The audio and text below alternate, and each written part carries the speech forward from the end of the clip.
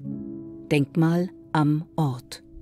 Man lernt natürlich die Tragödien, die dort passiert sind, als Zahl oder als immense Brutalität, die dort passiert ist. Aber ich glaube trotzdem ist es auch heutzutage so wichtig, die Einzelschicksale zu sehen und zu erkennen dahinter, damit das nicht in den Geschichtsbüchern verschwindet als, als eine Zahl, die sowieso keiner kapiert. Sondern es geht wirklich um jedes individuelle Schicksal. Die Lindwurmstraße 205 ist ganz relevant für die NS-Geschichte in Sendling. Die Initiative Historische Lernorte recherchiert seit 2004 die Geschichte. Und die Sibylle Pflanz ist auf uns zugekommen. Ich bin auf das Schicksal von Sophie und Emanuel Gutmann draufgestoßen, weil ich die historischen Pläne durchgesehen habe. Und bei den ersten Plänen von 1910, also das Haus ist von 1897, aber ab 1910 hat es der Herr Gutmann hat es ihm gehört, steht eben noch Emanuel Gutmann, dem Herrn Emanuel Gutmann gehörig als Bauherr.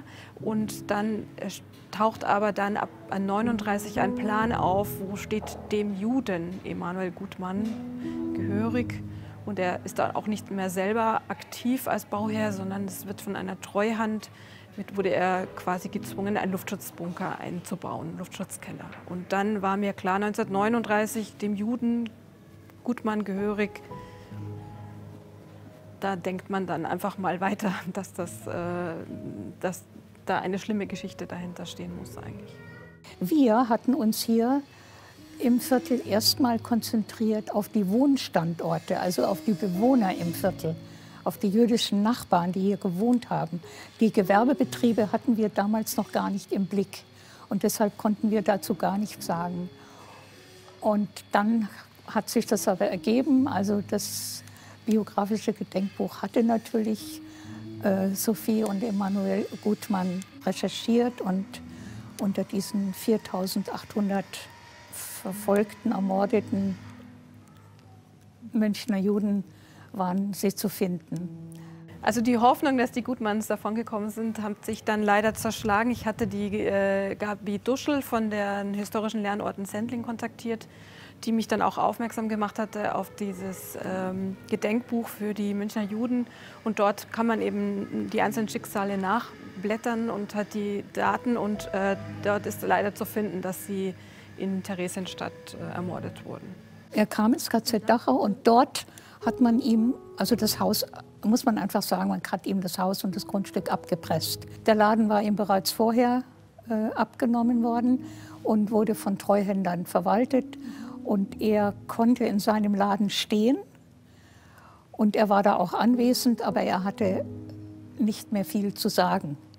Und das war natürlich auch eine besondere Art der Entwürdigung und der Entrechtung, dieser Prozess.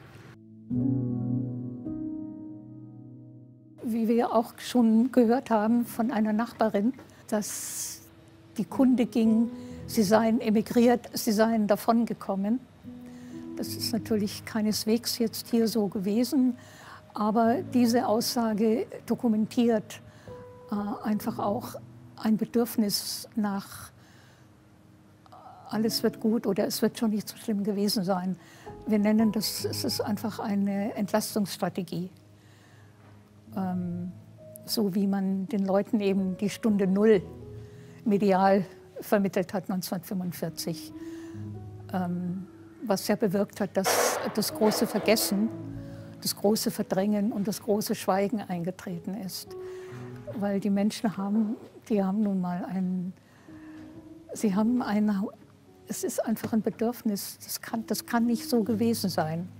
Oder es dürfte nicht so gewesen sein.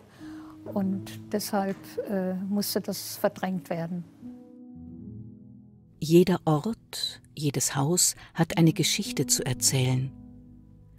Erinnerungen an den authentischen Wohn- und Lebensorten. Denkmal am Ort.